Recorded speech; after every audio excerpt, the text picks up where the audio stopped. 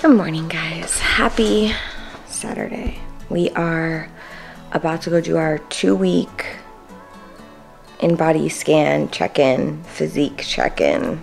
This sexiness we got going on. So, super tired. It's 6:50 in the morning on a Saturday and we're dead. We're so tired. We were supposed to sleep in. The dogs woke us up. You're not bringing food, right? Oh, I would love to. I'm fucking starving. Starving. We're going to scan without eating or drinking anything. And then we're gonna come back home and eat and start our crazy day. Crazy, crazy, crazy Saturday. We just wanted to chill because the office has been crazy this week. And of course, that's not gonna happen. So let's go to the office and scan. Oh, I don't wanna do this. Wanna go first? Oh, first. You wanna go first? No. It's so peaceful here on the weekend. I'm scared. Any progress is good progress. Any progress is good progress. Measuring your weight. Do not grab the handles or move. It's exactly the same. You got this. I don't understand. Place your heels on the rear sole electrodes. Keep your arms straight.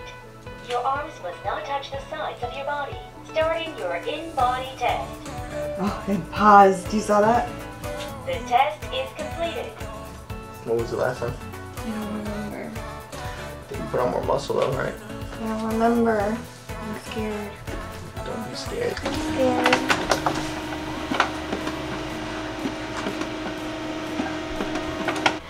Two week physique check in. We're not working with much. I don't know what else to do at this point. Alright. Front, side, back.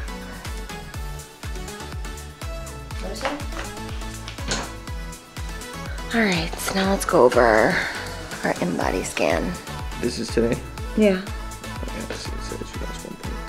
1.3. Alright, my body fat percent dropped from 24 to 23%. Why is my, how is my BMI still the same? My muscle mass went up almost a full pound. You lost 1.3 pounds of fat. But see, that's what I want people to see is look, you only lost 0.2 pounds on the scale, but you lost 1.3, 1.4 pounds of actual fat. Yeah. So the scale doesn't justify or give you a good picture of Maybe we need to hide the scale at home. Yeah. But look at your lean body mass. See, you're 101.6, now you're 103. The higher you get that number, see now look, look at your basal metabolic rate. It jumped up over, tw- it jumped up 10, 12 calories. But I don't want to eat more. No, you don't have to eat more, but you'll now at the same thing you'll lose weight. So showing you don't have to. Because now I'm in You don't more have of a to keep- calorie deficit. Yeah, yeah, exactly. I mean, it's only 12 calories. I would stay where you are right now, but or were you planning on dropping? No. No, I swear. Okay. I swear. With 75 hard, it's nonstop go. So we're gonna have inflammation. We're gonna be, Yeah. you know. But we're going in the right See, look, direction. you have 10 more pounds of, no, one more pound What? of water weight. My water weight doesn't fluctuate much, but I do have a pound extra of water weight. It's crazy when you look at where you were. I know. Don't even look at it. 12% body fat, 113 pounds. Crazy. We don't. I wish we knew what you were at 103. Like Right. what, what your actual Yeah. body percent fat was. I know. It was under 10, that's for sure. All right. Not a bad scan. No. Let's go start our day. Crazy Saturday. she stole a sock. Just pulled it out of her fucking throat. Week five of 75 Hard has officially caught up to me. I think we're more than week five. We're almost Today's week week five. Today's I mean, date- yesterday. Yesterday was week five, baby. Oh yeah. I can forget how many days are in the week. It's too early for this One, shit. two, three, four, five. Yes, you're right. The halfway point is always where Today's day 36. shit catches up. We're almost halfway. Tomorrow we'll be halfway. Well, Almost. tomorrow into the middle of the night. But like, I didn't do biceps yesterday, and my bicep hurts me. Probably from all those groceries you were carrying. Shut up. That's not real. One trip. One trip. Well, it's officially caught up to me. I don't want to do anything. Yesterday, I didn't want to do anything. I did two walks. You did legs. Kudos. Legs walk and football. Oh yeah, you played football for like 10 minutes at a party. It was a solid 30. It was like 10 minutes. It was 30. I wanted to go. I wanted to go. I didn't wanted want to play. I wanted to play, but I didn't want to be the only girl. You should have. I should have. Day 36. Yoga. We're going to yoga. It's Sunday. 7:33. I'm dead. 7:33 on a Sunday. We've been up since 6. I don't know why our we automatically wake up early. It's really fucking annoying. I would love just one day to sleep to like 9. That's impossible. I know. We've been waking up for how long now? Years. Yeah, at least two years. Yeah, but you used to wake up. You've been waking up at 5 for like 6 years. And he used to wake up at 5 and go work out and I would just stay in bed like a loser. Like a fat loser. But it's true. I mean, the earlier you're up, You have more day. more daylight. I know. You can accomplish more. By the time other people wake up at 10, I've been up for five hours. I could have. Yeah. By then we've had like three meals. Yeah. Worked out, meals. But it's not even that though. If you wake up later, I feel like then you're inclined to go to bed later, and that sounds awful to me. I just don't want to waste part of the day. Day 36, you're reading David Goggins' book. Never finished. So good. But you gotta read the first one, I think. No, to to get the full context, you have to read the first one Yeah. and then this one. I'm reading this right now. And it's been super helpful. Rye said he's gonna read it so that he can understand my binge eating. I'll read your highlights. I don't have a highlighter. I haven't gotten to highlight. That was like three days ago. You haven't found one in that time. And I'm already halfway done now. no, we didn't have a highlighter. It's really good. It's really good. It's weird how it speaks to me. Because I'm sure. I wonder though, I wonder though, like everybody says like, oh yeah, I'm a binger, I'm this and that, but I wonder like if people experience the same binge like urges that I have. Like I have like a voice that literally talks I to me. I think so, but I think those you acknowledge it. Most people don't even realize it's an issue. Well, I never realized. Like, I remember when I first started binging, it was when we were in the old house. And I remember, like, almost like the first time I had the, that urge. Like, it was like an anxiety. And then I went and got something to eat, and the anxiety went away. So I was like, oh, wait, When do you think you this started goes away. binging? In the old house. Right after Emma. Yeah, after Emma. Hmm. Yeah. After I had Emma eight years ago, almost nine years ago, was when it ha- when it started. Like immediately after postpartum. Hmm. Because remember, after I had her, I lost a lot of weight. I was doing like bullshit aerobics classes in the fucking living room, watching YouTube. And then all of a sudden, I just gained a ton of weight. You were doing like Beachbody and stuff. Yeah, it was that. It was the the urges that started to arise that Hmm. I couldn't stop. Yeah. I think most people just don't even Once realize you once you doing. acknowledge it though, it's game changing. Now I'm trying to learn tools on how to get my urges never to come back. Because even though I've acknowledged them, they still come. They still creep up on me. yeah. So yeah, I'm trying to figure out now how to get rid of them completely. But I don't know if you'll ever get rid of them completely. But as long as you learn how to acknowledge them and move past them, I think that's the goal. Yeah. Because I think It talks about weird things though. It talks about like envisioning that you're did I tell you this? That you're an oak tree. No. So like you're a strong oak tree and if mm-hmm. wind comes, the leaves just move, but the tree doesn't move. yeah, So the binging urges are the wind, I'm the oak tree, and I just let them breeze through and pass. So I acknowledge them as a feeling, like when you feel anxious, yeah, you ignore it. You know, when you feel angry, you try to let it subside. Same thing. It's just another emotion or sensation that arises, and I just let it pass. Yeah.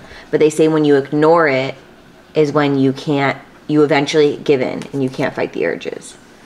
But you have to acknowledge it like, oh, there's an urge.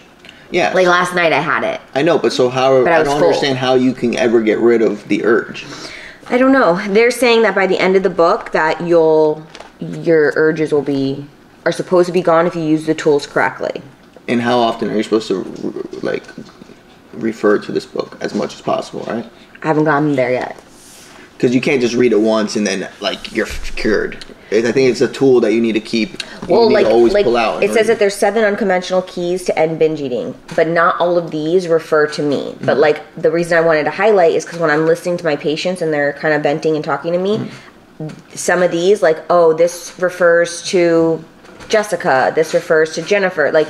You know what I mean? Like, oh, this is me. Yeah. So it's like that's why I was highlighting so that I can help people along the way. So I have, we have our wellness program. We have um, hormone replacement programs. We have different programs at the office that we offer. But like something that I'm very passionate about is like helping people acknowledge that they have a binge eating disorder and then how they can work through it.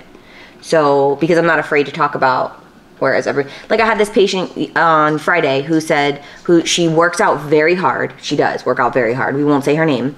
Um but she's always stuck in this where she'll lose 10 pounds but then she gains back 15 like so i told her I, f- I finally said to her like i think it's time to just acknowledge like you have a problem with food and she doesn't want to acknowledge that and um, I'm, I'm hoping that these little seeds that i plant with her work um, because i really care about this patient but um, yeah she definitely does not want to Well- admit that she has a she has a binge eating disorder of I some don't sort think people even realize that's a thing. Because before you ever came to I me and realize. you said like you had like this epiphany and you came to me and you're like, you kind of like confessed you're a binge eater. I'm like, oh, what the fuck's a binge eater? yeah Like I didn't know that was neither like a thing. Neither. Like I know people I binge googled, eat. you know, I told you how I found out. I googled how why can I lose weight but I can't keep it off? Because I know how to I always knew how to lose weight, but it would never stay off. Like it would be a very short period that it Yeah. would stay off. So that's how I found out and then it said like it, like the first thing that popped up was Brain Over Binge. It's a book by Well, the only time you were really losing weight is when you were doing these drastic, crazy diets, HCG. Always, yeah. They, like that's that. what they talk Yeah. about. That this is that's the trap you fall into. Yeah. And you restrict, restrict, restrict, and then you gain even more because Yeah, you. and then afterwards you blow up because you're you restricted so much. yeah, yeah. So I'm sure drastic diets like that for binge eaters is terrible. not the way to go. Terrible. That's Yeah. the key, I think, that these people don't understand. Like keto, this everything works. It's just finding what works for you And consistency. and consistency to Yeah, because that's the thing is that like a lot of my patients like will start something and then like four weeks in they're like this doesn't work, and I was like, well you didn't gain all this fucking weight in four weeks. You want it all to come off in four weeks? Like that's not real. Yeah. And then I have to check them. Some of them quit. Um, I'm not gonna lie, and some of them listen to me. Some of them get mad at me because I give tough love at first, and then they're hugging me and kissing me after their wedding photos come out, and they're like, "Wow, I looked awesome and I didn't fucking have to crash diet for six months to get ready for my wedding. So it's like, yeah, we can do this together. But the nice thing is, is that I feel like I'll always be, it's almost like a recovery state where like I'm constantly like fighting my own battles Yeah, it's like and I'm not afraid to talk about it. Yeah. But so it's kind of nice because I can relate, I think, to people, to patients. No, I think it's more common than anyone thinks. Yeah. It's just like, acknowledging. We gotta find a photo of when I was 268. I don't think I have any photos. My heaviest weight was 268 pounds, and I did not have bariatric surgery. When I went in to have Emma, I was 209, and I remember I got on the scale in the maternity ward, and Ryan was sitting in a chair, and he looks over and he goes, "You weigh more than me." and I was like, "If you ever tell anybody what I weigh, I'll kill you." But I weighed more than you when I gave birth to Emma. you were 209 209. because I was 208. Oh, So that's why I said it. yeah, but I don't think you were that on the day that I gave birth. to No, Emma. but that was my heaviest weight was 208. My heaviest was 268. And that was after Emma. That was when I went into that spiral Yeah. and my binging really started. Got a dog on my ass. Oh, babies. Our annoying ass babies are so fucking annoying. Baby, your coffee! Watch out, horse. Alright, that's enough discussion. TED Talk. quick little Quick little sesh Sesh. on what books we're reading and how 75 Hard is going so far. We're gonna try to record a podcast today because we got into a huge fight the other night and it was really funny and I think we should talk about it on our podcast. So Stay tuned. stay tuned for that. We'll be back. We're gonna go to yoga now, okay? Thanks, bye.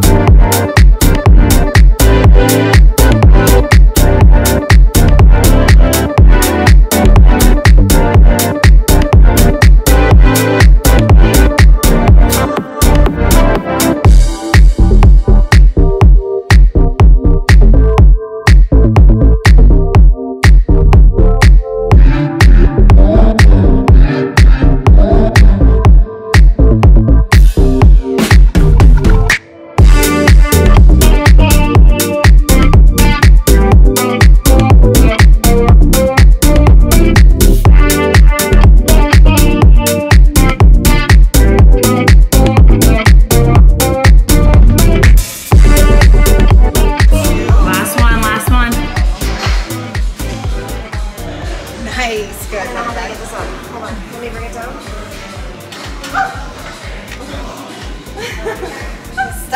Need help? Legs are trashed. Melissa, it's always a pleasure. Not Bye. Gabby. We're dead. We're dead Done. until Saturday. Yes. I'm not gonna be able to walk today. Holy fuck. Alright. Just finished training with Melissa. I am dead. I'm always so fucking nauseous afterwards, but I just got to TLF headquarters. We're gonna go see the new line that just came out.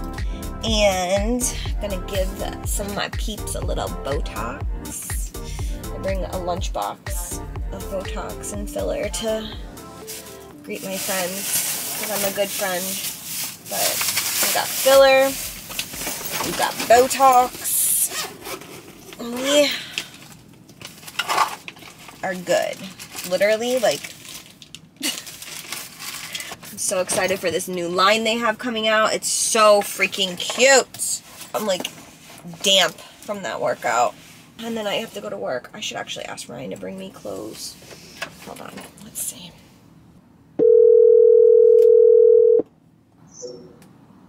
Hi. Can you bring me clothes to work? Like, what do you mean? like anything? I'm my, my clothes are like soaked and I'm I can't sit at work like this. You gotta tell me exactly what to bring, because I'll bring you the wrong thing. Just bring me a Nike set. Downstairs it's green. It's like an olive green. It's a bra and shorts that match. And then in my closet on the left bottom there is a um black Nike sweater. If you could Okay. please grab that for me. Okay. All right, baby. Thank you. I love you. I'm sorry. you. My lunch okay. Love you that Okay, Okay, I'm not I got forgetting it, I anything. got it. Okay, thanks. Bye. Bye. He's so good. I could literally ask him to bring anything and he never gets annoyed with me, like ever. So, okay, let's go inside.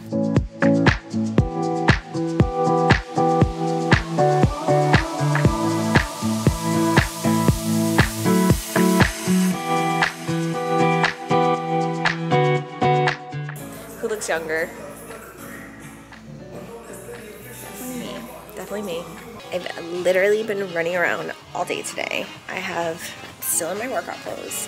And we're at the office.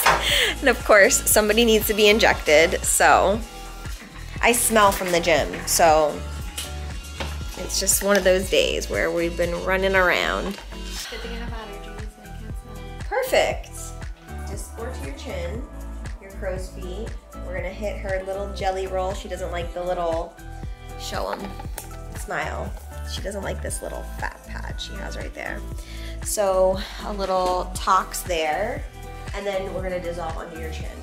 Yes. So we have we've filled her chin, which looks really good. But if you're someone that tends to like lean on your chin a lot, you can move filler, which she does lean. I feel like I always see like that. So you have to be careful.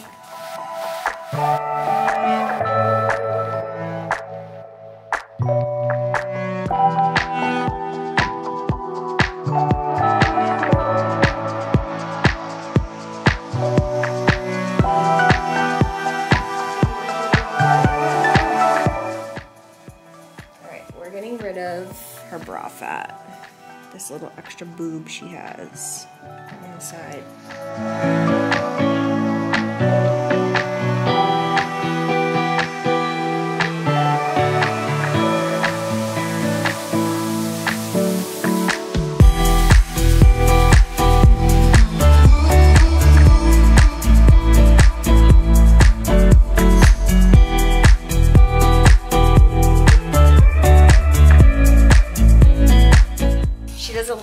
How wide her nose is, so she wants to try to see if we put a little bit of Botox here, if it'll relax the muscle so that she can't, and like slim her nose. I mean, in theory, it sounds great. When I get nervous, I have to put my I love that movie. smell. So I'm putting tox in her nostrils to see if it slims her nostrils. I have a couple patients that have gotten this done before, and they keep like coming back to get it done, but I never get to see it done. So, but they asked for it again.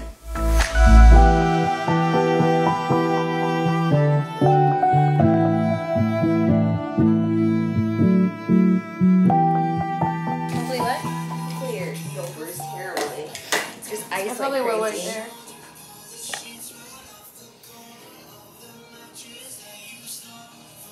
He's okay. This, by the way, is our office manager, Angela. She's beautiful in all forms. It's okay. It's just because I just abused you. Torture over. I know you're bleeding like crazy. You had a lot of coffee today? a couple coffees. Just one? But I'm a bleeder. Yeah. All right. Well, we'll see how she looks in a few days. I'm gonna go home and shower now because I've been like this since six in the morning. Yeah. Okay.